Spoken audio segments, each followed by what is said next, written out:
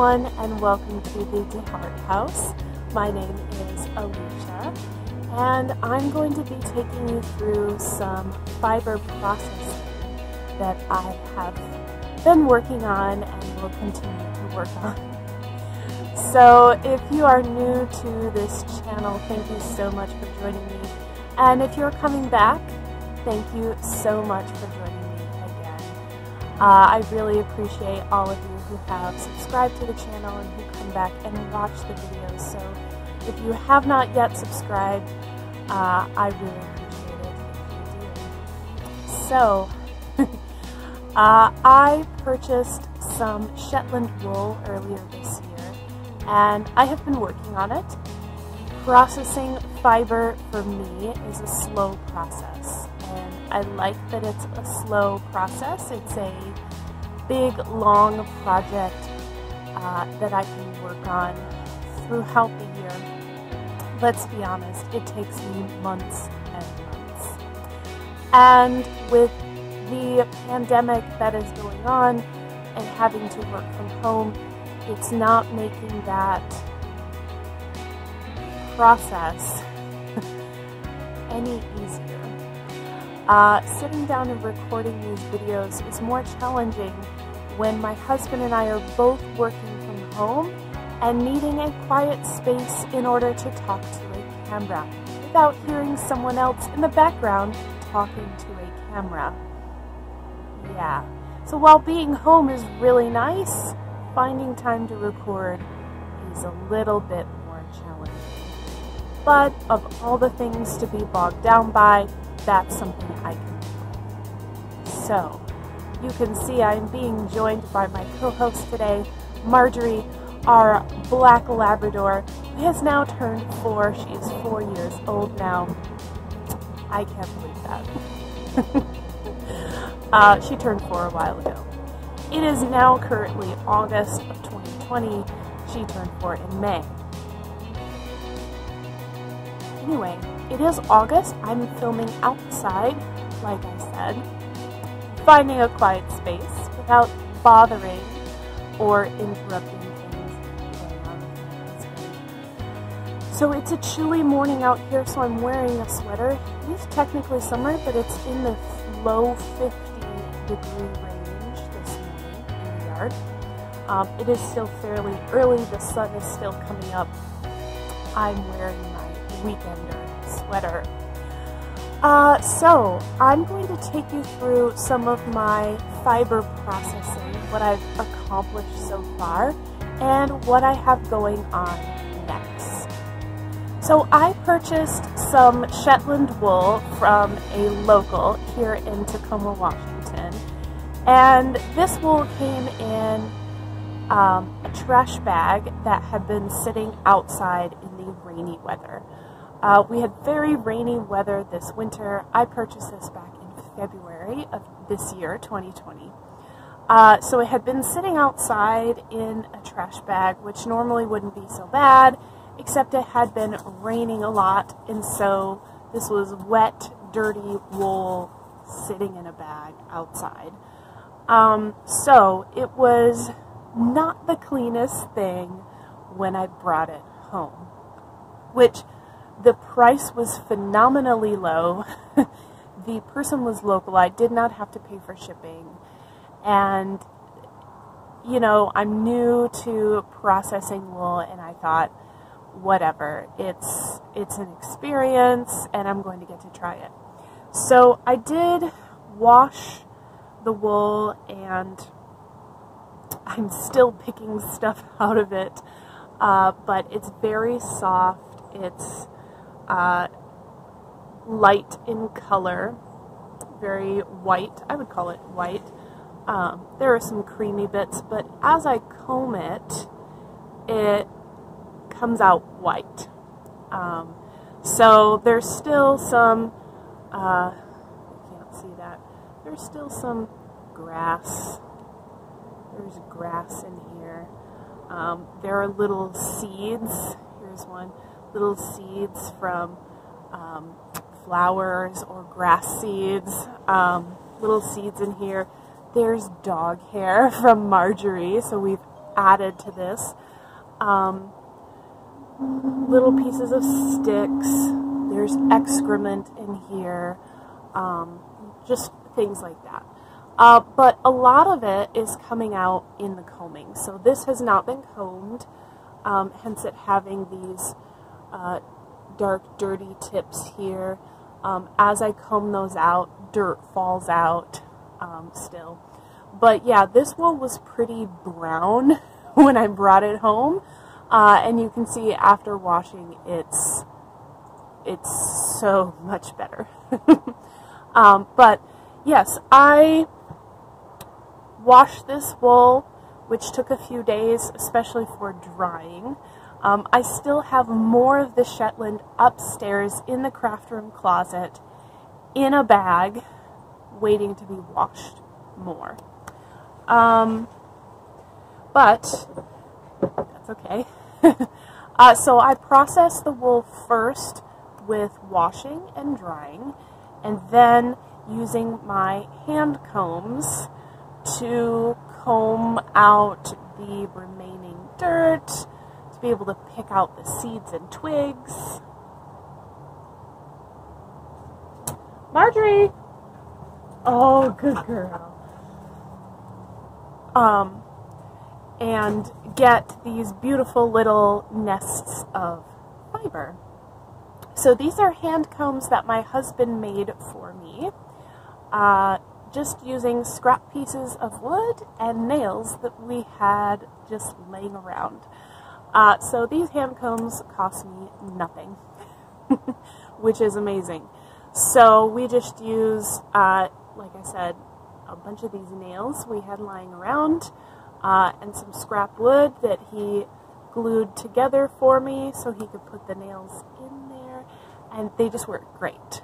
Uh, I have you can see it's a double row of nails and we've staggered, we've staggered them in the rows and it just works really, really splendidly. Um, yeah, I love them. So let me just show you um, how I comb the wool and take you through that experience.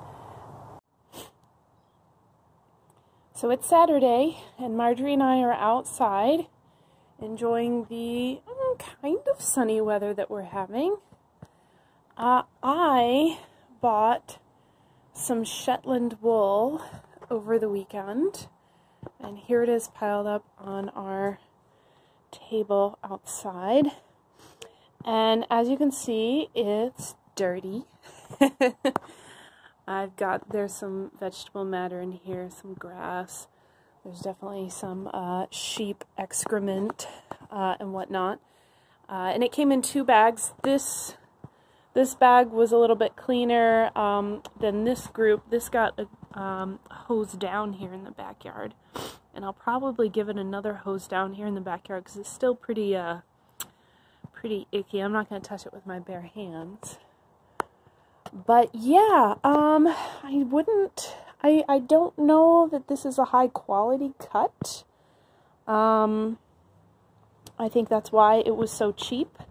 But uh, wool is wool, and I'm going to be processing this and spinning it up, and it should be super fun. And Marjorie is having fun roaming around the backyard.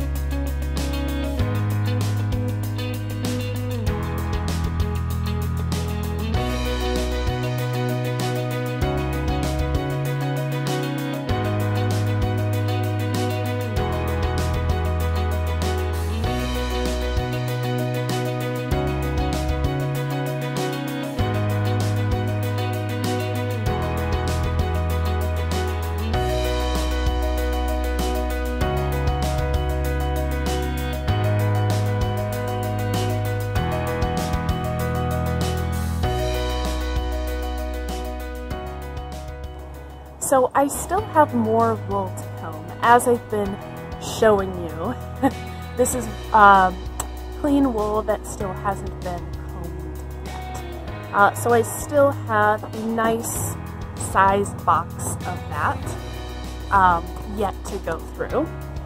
But I got to a good amount of wool where I'm ready to start playing with color.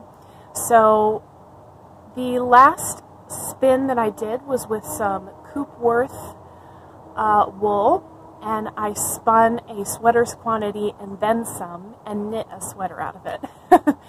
um, and that was my first, you know, beginning to end fiber preparation, spinning to knitting project. And it was amazing.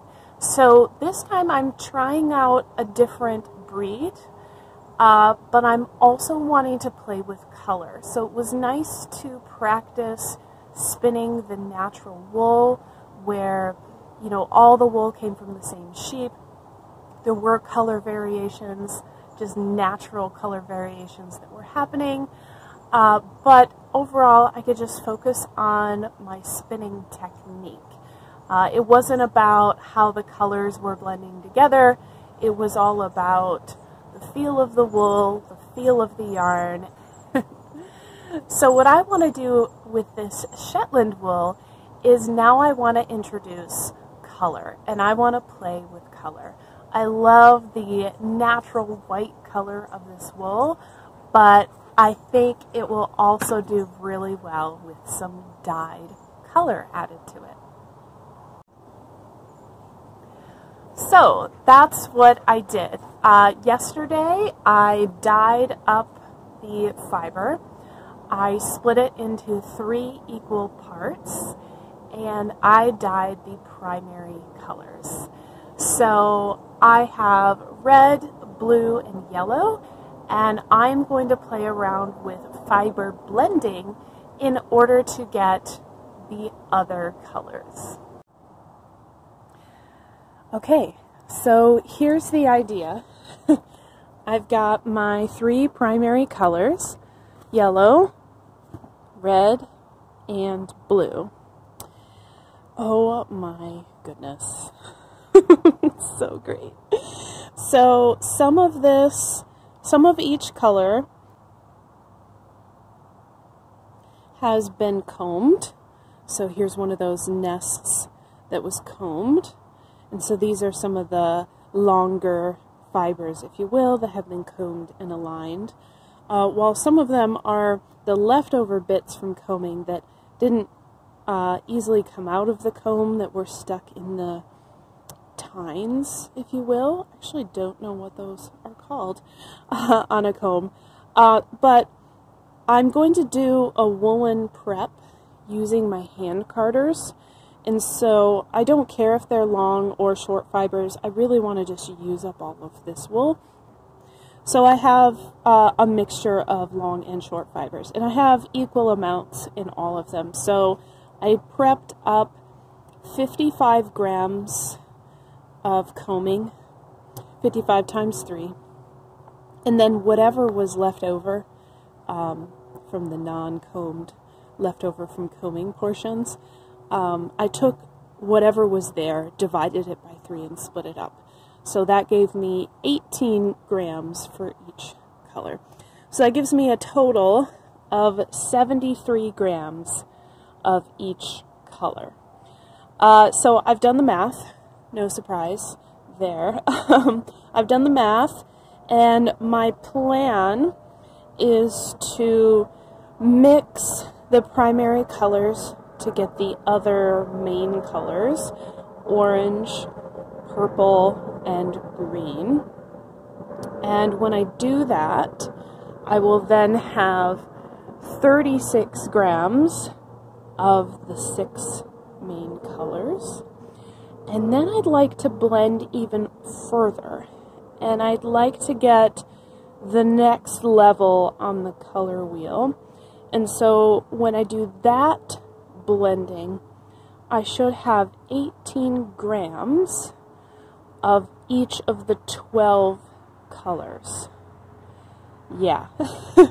so that's the plan. So I have my kitchen scale here, and uh, this is what I use to weigh my fiber and weigh my yarn, and I also sometimes use it in the kitchen, which was its original purpose.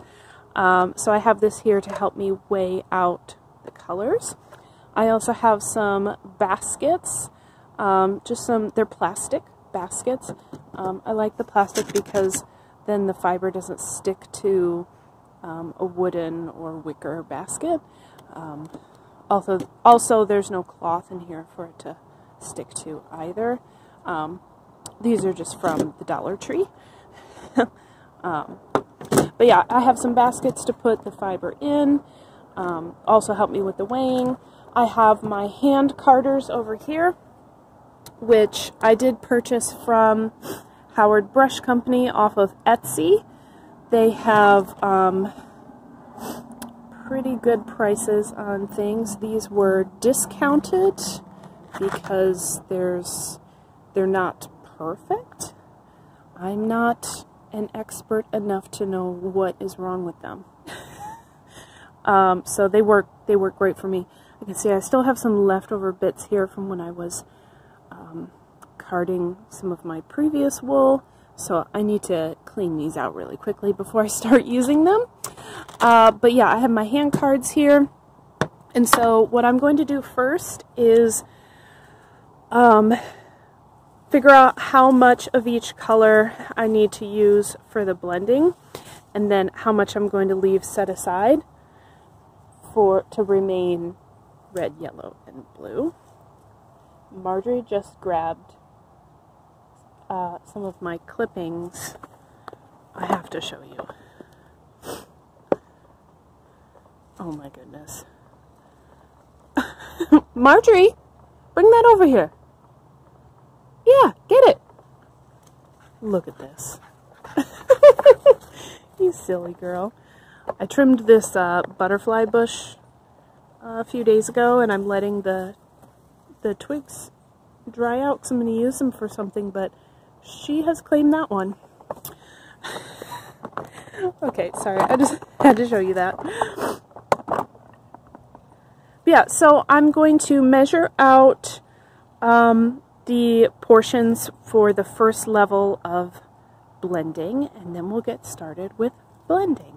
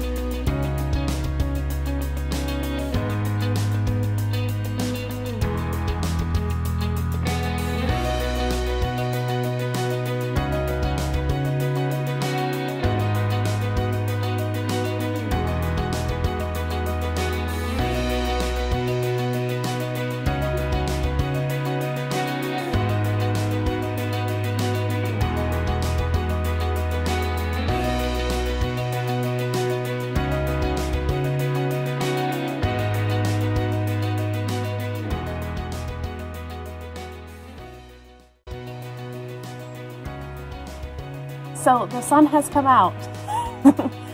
I have ditched the sweater because it's very warm in the sunlight. And I think I'll end up moving myself into the shade so that I don't get sunburned doing this. uh, so I have split all of the fibers up into fourths, four equal parts. So this basket has 18 grams of each color, 18 grams of each color, you get the picture. Okay, so I have four baskets here. So what I'm going to do is one of these baskets will get set aside. This is the, here's three of my colors right here. So I'm going to have 18 grams of each color in the end. So of the primary colors, I'll just set one of these aside. This is going to be saved for later. This basket I'll set aside.